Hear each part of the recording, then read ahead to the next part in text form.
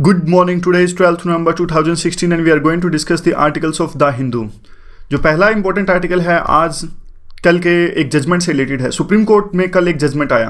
किससे related SYL से related SYL यानी सतलुज यमुना लिंक। ये एक लिंक नहर है सतलुज रिवर और यमुना के रिवर के बीच में। देखिए, ये थोड़ा बहुत इशू हम डिस्कस कर लेते हैं। ये यहाँ पे ये आर्टिकल हम डिस्कस करने जा रहे हैं। पहला छोटा आर्टिकल आज कम ही इंपॉर्टेंट आर्टिकल है, फिर भी जो भी हैं वो डिस्कस कर लेते हैं। देखिए, पंजाब में पाँच रिवर्स यानी पंजाब को कहा इसलिए जाता है क्योंकि पाँच रिवर्स का स्टेट है ये पंजाब। पहले ये पाकिस्तान का एरिया भी इसमें था और इवन हरियाणा का एरिया इसमें भी था। पूरा बड़ा एरिया था पंजाब में। ये देखिए, बहुत बड़ा एरिया था पहले। हरियाणा भी इसमें आता था। और ये सारी रिवर्स यहाँ से आती हैं। पाँच रिवर्स जो कि देखिए इंडस ऊपर से निकलती है, ये सारी इंपॉर्टेंट रिवर्स निकलती हैं तिब्बत से। तिब्बत से निकलती है, ऊपर कश्मीर से जाती है इंडस उसके बाद में झेलम झेलम तो कश्मीर में ही निकलती है। ये सारी आके यहाँ पे पाकिस्तान में जाती हैं। फिर नीचे आती है रवि। रावी, चिनाब, रावी, ब्यास, ये सब आती है सतलुज। सतलुज आती है सिप किला से यहाँ से। ठीक है? और यहाँ पे सतलुज रिवर यहाँ से निकल जाती है। मतलब थोड़ा गैप गड़बड़ा गया। लेकिन अब देखिए सतलुज रिवर अब देखिए यहाँ से जा रही है, और यमुना कहाँ से आती है, यमुना देखिए, उत्तराखंड ये है ना? तो उत्तराखंड यमुनोत्री से निकलती है यमुना। यमुना यहाँ से जाती है तो यहाँ से जाके ये देखिए, हरियाणा से आती है, दिल्ली से भी यमुना जाती है, और फिर बाद में आगे जाती है गंगा में मिल जाती है। तो अब बात ये और ये ये देखिए, अगर ये सतलुज रिवर है, ये ये यमुना रिवर है तो ये देखिए, सतलुज और यमुना को मिलाते हुए, मैं थोड़ा हाईलाइट कर देता हूँ। इस तरह की कोई नहर बनाने की बात हुई थी, जो हाईलाइट एरिया देखिए आप। आगे मैप में अच्छी तरह से अच्छी तरह से भी देखेंगे। और ये देखिए, सतलुज प्लस में यमुना को लिंक करते हुए ये नहर बनेगी S Y L S Y L क्यों? क्योंकि देखिए, इसका निर्माण इसलिए किया जाना था क्योंकि पंजाब में पहले से काफ़ी पानी है, ऐसा कहा जा रहा था हरियाणा के द्वारा में। और हरियाणा एक वाटर डेफिसिट स्टेट है, क्योंकि साउथ हरियाणा है ना, यहाँ का देखिए, जो ये हरियाणा है साउथ हरियाणा यहाँ पे पर्याप्त मात्रा में पानी अवेलेबल नहीं है। तो एसवाईएल बन जाता तो एक तरह से ये इनके जो वाटर डेफिशिएट एरिया हरियाणा का, वो पूरा हो जाता है और हरियाणा कहता है कि पानी हमारा हक भी है। आपके यहाँ से रिवर जा रही है, इसका मतलब ये नहीं कि आप सारा का सारा पानी यूज़ करेंगे। पंजाब का अपना तर्क है। पंजाब कहते हैं कि इंडस वाटर ट्रीटी के तहत में पहले से बहुत ज़्यादा पानी पाकिस्तान को दिया जा चुका है तो हम और ज़्यादा पानी हरियाणा को नहीं दे सकते क्योंकि हमारे में एग्रीकल्चर है, वो हरियाणा से ज़्यादा है। तो अब ये थोड़ी बहुत इसकी टाइमलाइन डिस्कस कर लेते हैं क्या क्या हुआ और कैसे कैसे हुआ। देखिए ये जो है इशू ये यहाँ से जा रहा है भाखड़ा डैम, ये सतलुज है, ये ये यमुना रिवर है तो सतलुज यमुना रिवर, हरियाणा के करनाल में ये जुड़ने वाली थी करनाल, जीटी रोड पे ही पड़ता है, बिल्कुल। जीटी रोड यानी शेर सासूरी मार्ग, ये बनवाया था शेर इसने शेरशाह ने बनवाया था ये जो अफ़गान रूलर थे, पंद्रह के आसपास बनाया था। और अब देखिए, थोड़ी बहुत इसकी टाइमलाइन डिस्कस कर लेते हैं क्या क्या हुआ। फिर दोबारा ये सारा देखिए, इससे भी थोड़ा पहले चलते हैं। इसमें तो 1966 की बात हुई है। इससे भी थोड़ा पहले चलते हैं क्या क्या हुआ 1960 में उन्नीस देखिए 1955 में अलग पंजाब की मांग हो रही थी। तब वाटर एक इशू था, क्योंकि लेकिन तब इतना बड़ा इशू नहीं था, तब पाकिस्तान के साथ बड़ा इशू था, क्योंकि हरियाणा और पंजाब तो सेम थे 1966 से पहले। तो हरियाणा और पंजाब के बीच में कुछ ऐसा इशू था नहीं, क्योंकि हरियाणा तो था ही नहीं, लेकिन पाकिस्तान के साथ जब एक वाटर इशू था कि पाँच रिवर्स को कैसे उनके वाटर को डिवाइड किया जाए। तो जैसे ही इंडिया ने इंडस वाटर ट्रीटी की तो पंजाब में एक यू कैन सी डिसकंटेंट था क्योंकि उसके अनुसार में पंजाब को ऐसा लगा कि हमारे स्टेट्स को इग्नोर कर दिया गया है और ज़्यादा पानी पाकिस्तान को दे दिया गया है। उस समझौते के तहत में इंडस झेलम और चिनाब रावी ब्यास इन सब का पानी हमारे पास में। रावी ब्यास सतलुज। ऊपर वाली नदियों का पा, पानी पाकिस्तान के पास में नीचे वाली को हमारे पास में। तो इंडिया ने कहा सिर्फ़ हम 20 परसेंट वाटर यूज़ करेंगे। ये ट्रीटी काफ़ी पंजाब ने कहा कि हमारे हित में नहीं है ये ट्रीटी और इसलिए वहाँ पे डिसकंटेंट था। फिर 1966 में हरियाणा पंजाब अलग हुए और हरियाणा ने अपने पानी की मांग करनी स्टार्ट करी। उन्होंने कहा कि देखिए, पानी आप हमारे हक का दीजिए, आपने स्टेट तो डिवाइड कर दिया लैंड तो दे दिया लेकिन पानी तो दीजिए। उसके बाद में ये सारी राजनीति स्टार्ट हुई। उसमें लैंड उसके बाद में लैंड एक्विजिशन स्टार्ट हुआ। फिर पंजाब में आपको याद होगा एक मूवमेंट चली थी सी सेशन की ब्लू स्टार कैंपेन बाद में चलाया गया था। और इससे रिलेटेड पंजाब में तो और ज़्यादा डिसकंटेंट हो गया। बिल्कुल यू कैन सिलेक्ट वहाँ पे बिल्कुल ऐसा पॉलिटिकल और इमोशनल इशू ये हो गया, पानी तो बिल्कुल हर हाल में देना ही नहीं है। तो क्या क्या हुआ, किस ढंग से हुआ, उसको थोड़ा दूसरे वे में अब डिस्कस करते हैं। तो अब देखिए, उन्नीस सौ इक्यासी में 1981 में तीन स्टेट्स के सीएम पंजाब, हरियाणा और राजस्थान, इन्होंने एक एग्रीमेंट साइन किया। और इन्होंने कहा कि जो रावी ब्यास का सरप्लस पानी है, वो इनको देगा। फिर बाद में एक इंदिरा गांधी कैनाल का भी निर्माण हुआ था, जो राजस्थान के दूर दराज इलाकों तक गई वो इंदिरा गांधी कैनाल, उससे गंगानगर जैसे इलाकों को पानी मिला। ये तो अच्छा इशू था।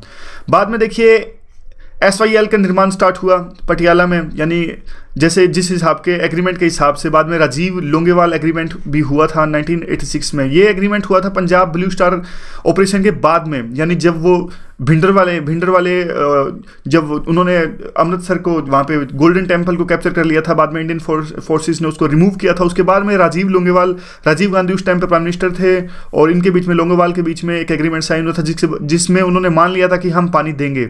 और उसके बदले में उन्होंने कुछ चीज़ें मांगी थी जो उन्होंने सेंट्रल गवर्नमेंट ने देने की बात कही थी।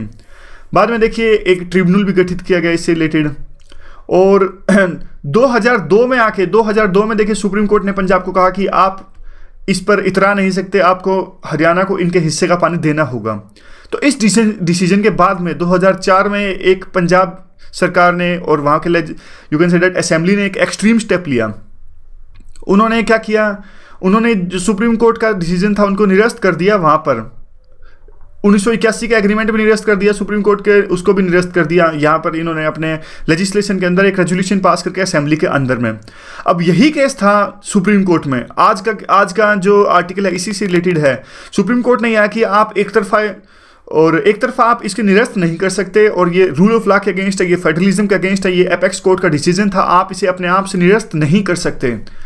और देखिए एस वाई एल अब उसके बाद से डिसीज़न चला ही आ रहा है। 2016 में क्या हुआ? इस साल मार्च 2016 में भी ये सुर्खियों में था। इस साल मार्च 2016 में अब देखिए, हरियाणा ने हरियाणा ने तो अपने हिस्से की जो नहर थी वो बना दी कैनल बना दी अपने हिस्से की। लेकिन पंजाब ने अपने हिस्से की नहर नहीं बनाई थी। उन्होंने पहले ज़मीन जो एक्वायर कर रखी थी किसानों से और उन्होंने 2016 में एक डिसीज़न लिया कि हम बनाएँगे ही नहीं, हम कभी भी नहीं बनाएँगे। जो ज़मीन उन्होंने एक्वायर की थी, वो भी उन्होंने किसानों को वापस दे दी। यानी जो गड्ढे खोद रखे थे, वो भी भर दिए और किसानों को कहा कि आप इस पर फ़सल उगाइए। ये ये घटना है इस साल 2016 मार्च की। तो उसके बाद ये अब डिसीज़न आया। तो अब ये देखिए, ये थोड़ी बहुत इसकी हिस्ट्री जो हमने अभी डिस्कस करी, इसको शब्दों में यहाँ पे बयान किया गया है।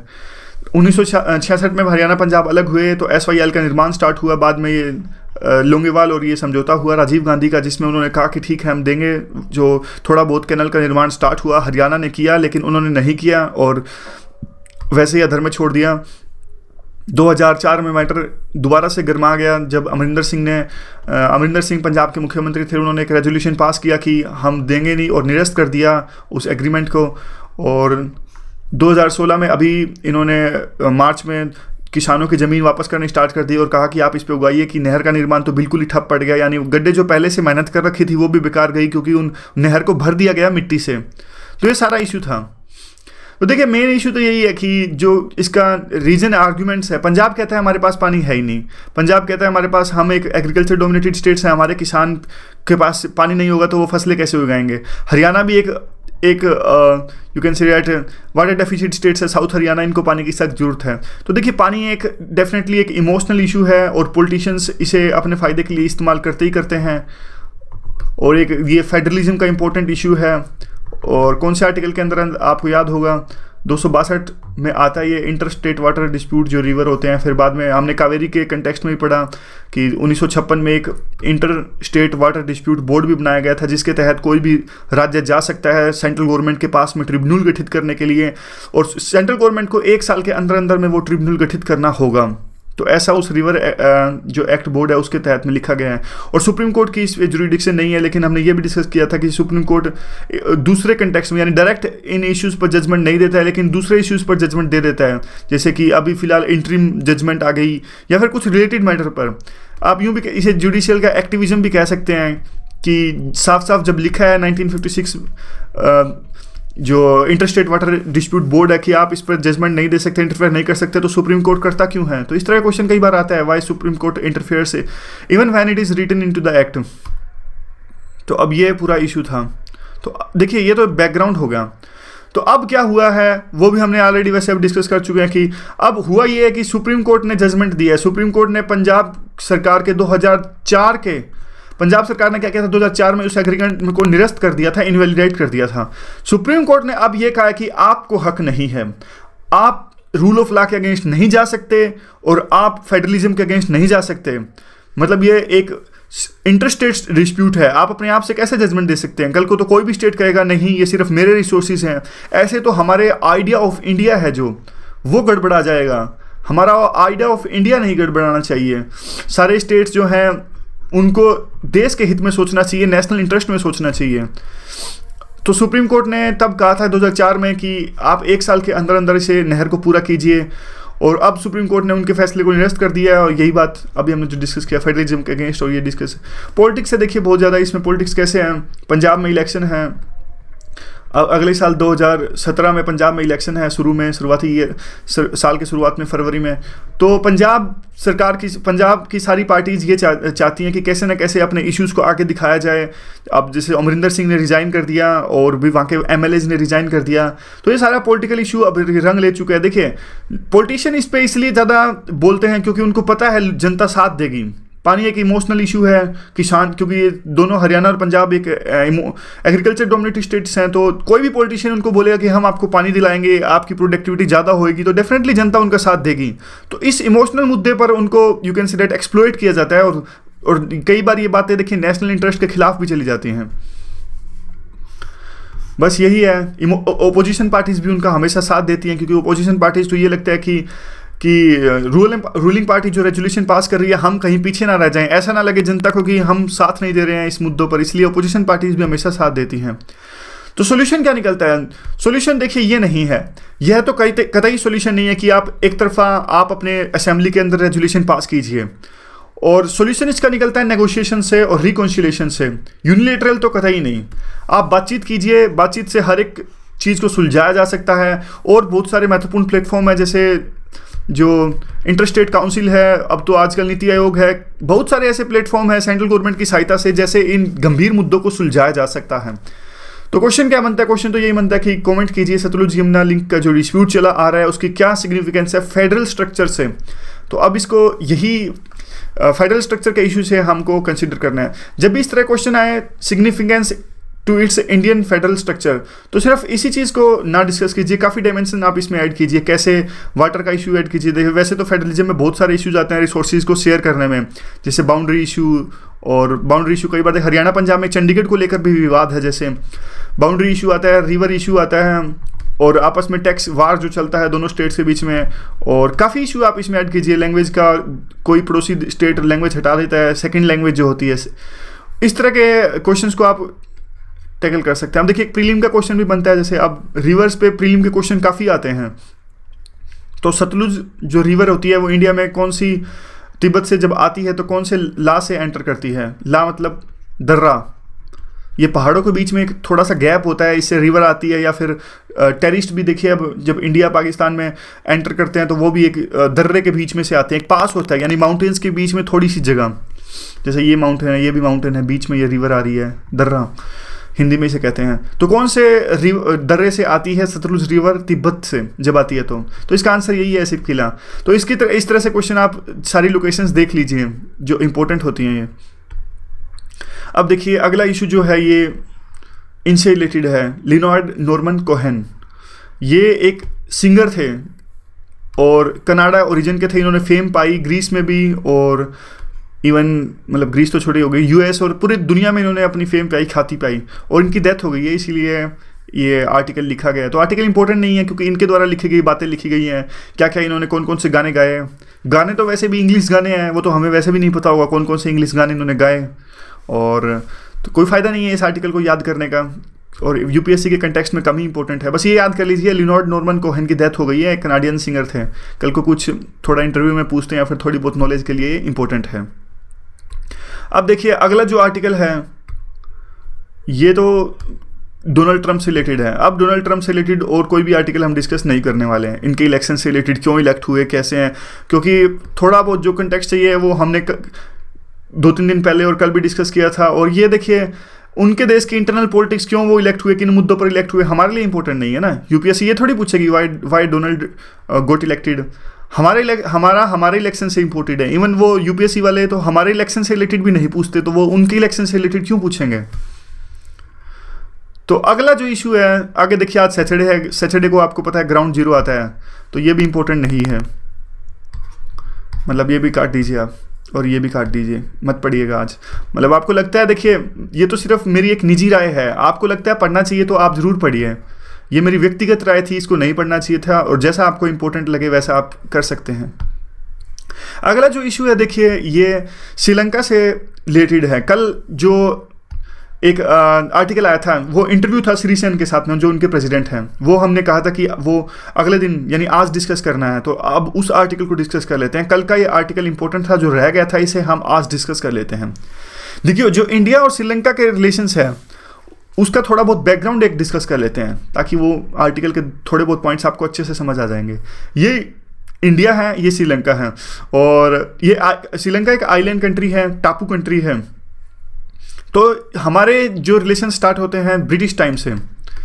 ब्रिटिश आपको पता था, एक कॉलोनी बनाता था यामा तो उन्होंने श्रीलंका में भी कॉलोनी बनाई, और प्लांटेशन चाय की जो प्लांटेशन थी, वो बहुत यू कैन सी डैट उस टाइम पे प्रचलित थी और उनसे ब्रिटिशर्स फ़ायदा उठाते थे। आज भी काफ़ी प्रचलित है।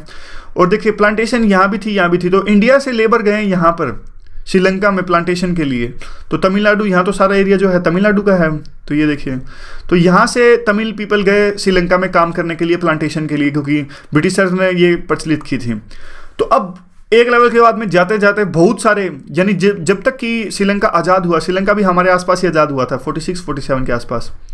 जब उनका देश आज़ाद हुआ श्रीलंका, तब यहाँ पर बहुत सारे तमिलियन थे। यानी एक एक सिग्निफिकेंट थी तो माइनॉरिटी माइनॉरिटी में थे, लेकिन एक सिग्निफिकेंट अमाउंट ऑफ़ पीपल थे सिग्निफिकेंट मैग्नीट्यूड ऑफ़ पीपल थे। अब जब भी कोई रिलेशन डिस्कस करते हैं, हमने एक दिन पहले भी डिस्कस किया था तो हिस्टोरिकल कंटेक्स्ट ये सारे कंटेक्स्ट डिस्कस कीजिए आप। हिस्टोरिकल कंटेक्स्ट क्या क्या था? देखिए हिस्टोरिकल कंटेक्स्ट तो यही है कि हमारे इंडिया और श्रीलंका के जो रिलेशंस थे, वो ब्रिटिशर्स टाइम से इवोल्व होते हैं, कैसे हमारे तमिल पीपल वहाँ पे गए। लेकिन जैसे ही देश आज़ाद हुआ 1946 के बाद में, अब देखिए तमिल मेन है हमारे इंडिया में तमिलनाडु में। अब वहाँ भी हैं श्रीलंका में भी। लेकिन वहाँ पे उन, उनके साथ में श्रीलंका में, तमिल के साथ में एक दोयम दर्जे का व्यवहार होना स्टार्ट हुआ। यानी उनको ना तो लैंग्वेज राइट्स दिए गए, ना सिटीजन राइट्स दिए गए। तो अब देखिए तमिल के साथ कुछ बुरा होगा श्रीलंका के अंदर में तो उसका उसका फ़र्क इंडिया में भी तो पड़ेगा ना, क्योंकि मेन तो तमिल का जो गढ़ है वो तो इंडिया में है।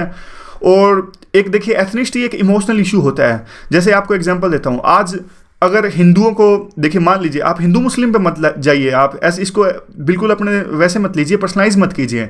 लेकिन जो कई बार सरकार की पॉलिसी होती है, देखिए, जो हिंदू को अत्याचार किया जाता है बांग्लादेश के अंदर में तो सरकार कई बार ये कहती है कि हम उनको सिटीजनशिप देंगे ऐसे। तो मतलब ये देखिए, वैसे ही तमिल पर गलत अत्याचार हो रहा था तो श्रीलंका के अंदर में तो सरकार यहाँ के लोगों पर भी फ़र्क पड़ा, क्योंकि इमोशनल अटैचमेंट्स थी दोनों तमिल्स के बीच में, श्रीलंकन तमिल्स के बीच में और तमिलनाडु के तमिल्स के बीच में। तो इसके बाद में देखिए, यहाँ की जो उन पर अत्याचार हो रहा था तो वहाँ की लपटें यहाँ भी देखने को मिली। और सरकार ने बाद में कदम भी उठाने लगे उठाने स्टार्ट किए। 1986 में और 87 में एक जयवर्धने के साथ में, वहाँ के जो प्रेसिडेंट थे उनके साथ में, राजीव गांधी और जयवर्धने का एग्रीमेंट साइन किया था। आपको याद होगा, जिसके तहत में हमने पीस कीपिंग फोर्स भेजी थी। क्यों भेजी थी? क्योंकि देखिए, अलग देश की मांग कर रहे थे। वहाँ के तमिल, श्रीलंका के तमिल कह रहे थे, हम एक तमिल लैंड दीजिए अलग देश की मांग कर रहे थे। और काफ़ी वायलेंस वहाँ पर हो रहा था। तो इंडिया ने भी बीच में थोड़ा बहुत बोलना स्टार्ट किया क्योंकि वो तमिल पीपल थे, इन्होंने कहा इंडिया ने कहा कि जल्द से जल्द शांति चाहिए। तो श्रीलंका ने एक्ट करना स्टार्ट किया।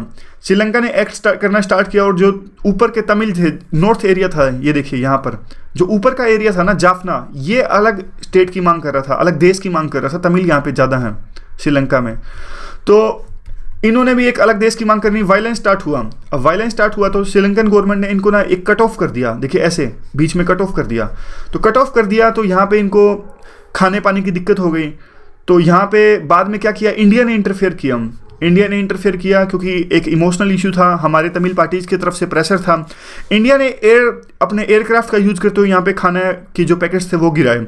श्रीलंका ने इसे माना कि ये हमारे देश की सोवरनिटी पर खतरा है कि आप कैसे हमारे देश के अंदर इंटरफेयर कर सकते हैं।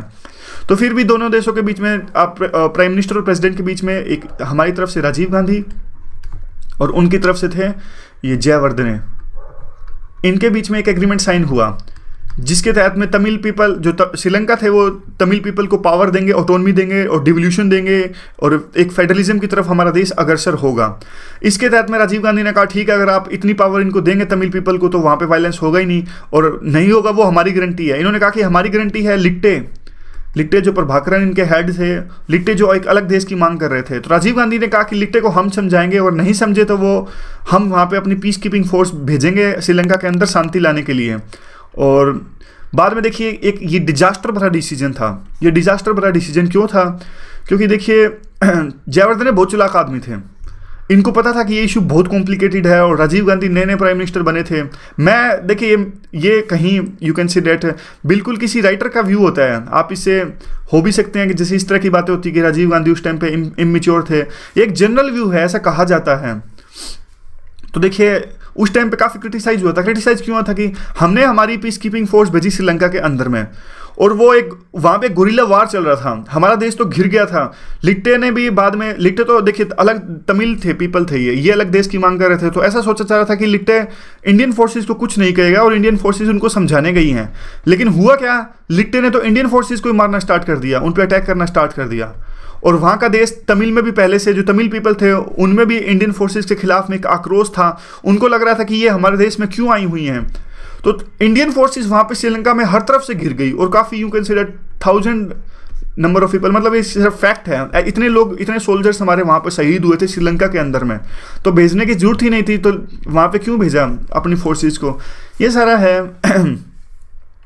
और बाद में क्या हुआ? देखिए, श्रीलंका के चलते चलते क्या हुआ? उसके बाद में हमने 1990 के आसपास में अपनी फोर्सेज वापस बुला ली। ये एक फेलियर था। और दो हज़ार, बाद में एक राजपक्ष चुन के आए वहाँ पे 2004 में। यानी राजपक्ष से प्रेसिडेंट चुने गए। 2009 में उन्होंने लिट्टे को ख़त्म कर दिया।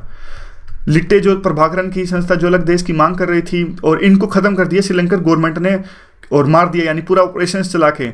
और बाद में देखिए 2009 में ये आरोप लगता है श्रीलंकन गवर्नमेंट पे कि जब ये लिट्टे के खिलाफ में ऑपरेशन चला रहे थे तो इन्होंने तमिल पीपल पर काफ़ी अत्याचार किए वहाँ पर। यानी एक ह्यूमन राइट्स की बहुत ज़्यादा वायलेशन हुआ, वहाँ पर रेप्स के आरोप लगे और लोगों को मारा गया बहुत हाई लेवल पे। तो ये सारा इशू था। तो ऐसे डिस्कस मैं ये एक सिर्फ़ एग्जांपल था कि आप हमेशा इश्यूज़ को ऐसे देखिएगा। हिस्टोरिकल कंटेक्स्ट क्या अभी फ़िलहाल पॉलिटिकल कंटेक्स्ट क्या है? और इकोनॉमिकल कैसे, जैसे इंडिया जो चाइना है, कैसे वहाँ पे एफडीआई के लिए कर रहे हैं और कैसे वहाँ पे अपने प्रोजेक्ट्स को लेने के लिए कम्पिटिट कर रहे हैं? सिक्योरिटी इशूज़ कैसे इंडियन ओशन में उनकी एक महत्वपूर्ण प्लेस है और इंडिया की सिक्योरिटी के लिए काफ़ी इंपॉर्टेंट है। कल्चरल तमिल पीपल का कल्चरल कंटेक्स्ट देखिए आप और बुद्धिज़्म भी देखिए। रीजनल कंटेक्स्ट देखिए आप सार्क में। इस तरह से आप कोई भी किसी भी देश के साथ रिलेशन को देखिए उसी कंटेक्स्ट में इसी फ्रेमवर्क में। तो अभी तो पूरे के पूरे सारे हम एक पूरी ज़्यादा डिटेल में डिस्कस नहीं कर सकते क्योंकि टाइम की कमी है और फ़िलहाल जो आ, आ, आर्टिकल में है वो डिस्कस कर लेते हैं क्या क्या है। तो इंटर पहले तो दो तीन क्वेश्चन जो हैं इंटरनल इश्यूज़ से रिलेटेड हैं। इंटरनल इश्यूज़ क्या है थोड़ा सा आपको बता देता हूँ इसमें। 2004 से देखिए 2000 ऑलमोस्ट 15 तक। पंद्रह या सोलह तक। यहाँ थे बीच में राजपक्षे। राजपक्षे ने वहाँ पे, इनका नाम है प्रेसिडेंट का ये। इन्होंने वहाँ पे एक महत्वपूर्ण काम किया, उन्होंने लिट्टे को ख़त्म किया और इंडिया में ऐसा कहा जा रहा था कि राजपक्षे हैं जो चाइना के साथ में ज़्यादा घुल मिल रहे हैं, यानी इंडिया के इंटरेस्ट को इग्नोर कर रहे हैं और इन्होंने लिट्टे को ख़त्म किया। राजपक्ष के खिलाफ में बहुत ज़्यादा माहौल था, क्योंकि इन्होंने इकोनमी भी ख़राब कर दी थी और तमिल इशू को भी अच्छे से हैंडल नहीं किया। इवन चाइना के साथ में वो ज़्यादा घुल मिल रहे थे तो इंडिया के इंटरेस्ट के भी खिलाफ है। इंडिया भी चाहते थे कि राजापक्ष जल्दी से गद्दी से हटें। तो पिछले साल यहाँ इलेक्शन हुआ श्रीलंका में। तो पिछले साल यहाँ पे इलेक्शन हुआ। तो देखिए इन्हीं की गवर्नमेंट में जो एक होम मिनिस्टर थे सिरिसेना इंडिया ने उस अपने ऐसा कहा जा रहा है देखिए फिर वही बात दोबारा से रिपीट करता हूँ। ऐसा कहा जाता है कि इंडिया ने अपने रा का यूज़ करते हुए जो research analysis wing intelligence agencies है उसका यूज़ करते हुए पहले तो इनको बाहर निकलवाया जो इन्हीं के गवर्नमेंट के एक सिरिसेना इन्हीं की गवर्नमेंट के एक होम मिनिस्टर थे इनको बाहर निकलवाया और श्रीलंका की अपोजिशन पार्टीज़ को एकत्रित किया एक अलायंस बनाया राजापक्ष के खिलाफ में। और इंडिया ने अपने आ, क्लाउड का यूज़ करते हुए वहाँ पे इनको जितवा दिया श्रीसेना को। देखिए, वोट तो जनता ने दिया, फिर भी काफ़ी चीज़ों की ज़रूरत पड़ती है। वो इंडिया ने फुलफिल की और कहा, ऐसा जाता है कि इंडिया ने अपनी हेल्प से श्रीसेना को जितवा दिया। अब श्रीसेना सत्ता में है वहाँ पे और ये दो तीन क्वेश्चन इंटरनल इशू से रिलेटेड है कि जैसे कि पावर दी जा रही है कि नहीं दी जा रही है पावर कैप्चर वो कह रहे हैं कि इलेक्ट होने के बाद में मैंने काफ़ी से काम किए हैं और एक प्रेसिडेंट को पहले राजपक्षे के टाइम में बहुत ज़्यादा मोनोपोली और पावर दे गई थी, मैं धीरे धीरे उस पावर को कम कर रहा हूँ। और ये कहा था कि दो तीन जो और इशू है जिन पे मैं चुना गया था, एक तो ये ह्यूमन राइट्स का जो वायलेशन हुआ था, उनकी जाँच और उनको न्याय दिलवाना, तमिल पीपल को डिवोल्यूशन देना, वहाँ पे उनको न्याय दिलवाना। एक इकोनमी वो कह रहे थे कि मैं एक मिक्स्ड इकोनॉमी श्रीलंका की होनी चाहिए और इस पर काम चल रहा है। जब राजपक्ष गए थे तो डेट बहुत ज़्यादा था और उस को कम किया जा रहा है और सोसाइटी भी देखिए, ये सारे इश्यूज़ हैं, उनके इंटरनल पॉलिटिक्स से रिलेटेड हैं। हम अपने काम की बातें डिस्कस कर ले, कर लेते हैं। एक तो इश्यूज़ ऑफ़ तमिल इनसे पूछा गया कि आप इश्यूज़ ऑफ़ तमिल को कैसे रिजोल्व कर रहे हैं? तो इन्होंने जवाब दिया कि देखिए ये एक गंभीर इशू है और धीरे धीरे काम चल रहा है। जो रिकाउंसिल रिकाउंसिलिंग की जो प्रोसेस होती है इसमें टाइम लगता है। और कहते हैं कि अभी से इलेक्ट होने के बाद में ग्यारह बार मैं वहाँ पर जा चुका हूँ और कॉन्स्टिट्यूशन भी बन रहा है।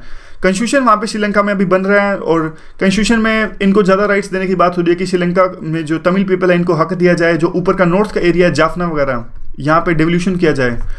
और देखिए, इनको डेवल्यूशन देने की बात होती है तो जो साउथ के एरिया हैं साउथ के एरिया यानी इसमें देख लीजिए आप मैप में। साउथ में एरिया यहाँ पे रहते हैं सिन्हलीज़, जो लोकल श्रीलंकन्स हैं। ये विरोध करते हैं बार बार तो एथनिक टेंशन क्रिएट हो जाती हैं बार बार श्रीलंकन जो जो सिन्हलीज वो कहते हैं इनको ज़्यादा राइट्स नहीं दिए जाएँ। तो ये कहते हैं कि एक बैलेंस बनाने की ज़रूरत है और सभी सोसाइटीज़ के बीच में वहाँ पे not even Tamils and Sinhalese वहाँ पे, मुस्लिम्स भी काफ़ी संख्या में हैं। तो तीनों कम्युनिटीज़ के बीच में और क्रिश्चियंस भी हैं वहाँ पे। तो चारों कम्युनिटीज़ के बीच में एक एक बैलेंस बनाया जाए ताकि शांति स्थापित हो उसके। एक, देखिए, पहले क्या था, जब लिट्टे के खिलाफ वार चल रहा था 2009 में तो वहाँ पे नॉर्थ श्रीलंका में मिलिट्री ने काफ़ी एरिया पे कब्जा जमा लिया था। मिलिट्राइजेशन हो गया था। इवन जो प्रिजनर्स ऑफ़ वार हैं, धक्के से केस चलाए गए थे काफ़ी तमिल पीपल के खिलाफ में। पोटा, जैसे हमारे इंडिया में जो था prevention of terrorism act India में भी हैं। ये छोटी कंट्रीज़ श्रीलंका हो गया, पड़ोसी देश हो गया ये हमसे नकल करते हैं। हम वहाँ से नकल करते हैं वेस्ट से। हम हमेशा कोई भी ला बनाना होता है तो हम ये देखते हैं कि यूएस में क्या ला है यूरोप में क्या ला है। ये छोटे कंट्रीज़ जब भी ला बनाना होता है तो ये देखते हैं इंडिया में क्या ला है। इंडिया में कौन सा कानून है? तो अब देखिए, एक इशू ये भी है डोमेस्टिक जुडिशरी का। ये इशू क्या कहता है? ये कह, कहता है कि जो ह्यूमन राइट्स वायलेशन की जाँच चल रही है ऐसा आरोप जब श्रीलंका पे लगे थे कि 2009 में जब वार एंड हुआ था तो एंड होते होते तमिल पीपल पर काफ़ी अत्याचार हुए ह्यूमन राइट्स का वायलेशन हुआ। तो एक इशू ये है तमिल पीपल ये कहते हैं कि जो श्रीलंका की लोकल जुडिशरी है वो वीक है बहुत ज़्यादा। ये एक स्ट्रॉन्ग पक्ष नहीं ले सकती क्योंकि एक वहाँ पे भी सिनलीज लोग बहुत ज़्यादा हैं तो उनकी जाँच के लिए एक इंडिपेंडेंट स्ट्रॉन्ग जुडिशरी होना चाहिए। इस बात पर प्रेसिडेंट सिरिसेना कहते हैं कि, देखिए, जुडिशरी पहले वीक थी, श्री पक्ष राजपक्ष के टाइम में। अब जुडिशरी को काफ़ी पावर्स दी गई हैं और वो किसी भी फैसले को अच्छे से टैकल कर सकती हैं, किसी भी डिसीज़न पर जाँच कर सकती हैं।